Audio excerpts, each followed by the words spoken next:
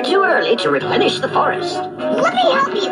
Together we should be able to re-smurf the forest twice as fast. Uh, alright. I'm coming. You see what I mean, Papa Smurf? Smurf's alive. That little Smurfling is the best helper I've ever had. Well, I must say, this is quite unusual for Snappy. I'm very impressed.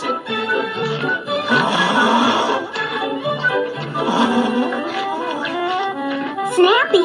Snappy! Oh, what is this, Smurfette? Wake up! It's time for dessert! I think I'll skip dessert.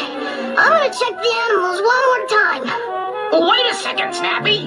This is a special dessert.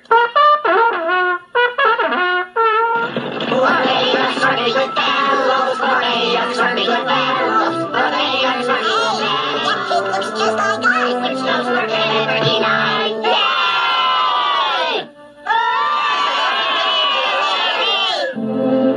Now then, Snappy, in recognition of your hard work on behalf of the forest and our animal friends, I hereby present you with the Medal of Smurfiness.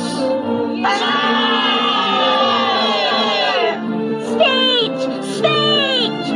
Gosh, I don't know what to say. You say something, Snappy. Uh,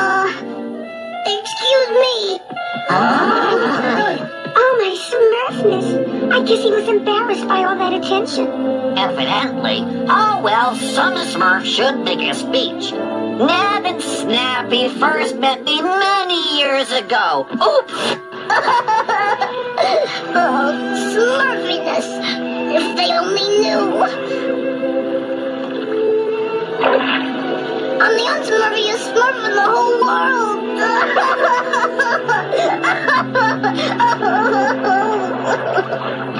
Word for it, Scruple. There are bound to be a few of those little blue pests lying around here somewhere, scorched to a tasty crisp.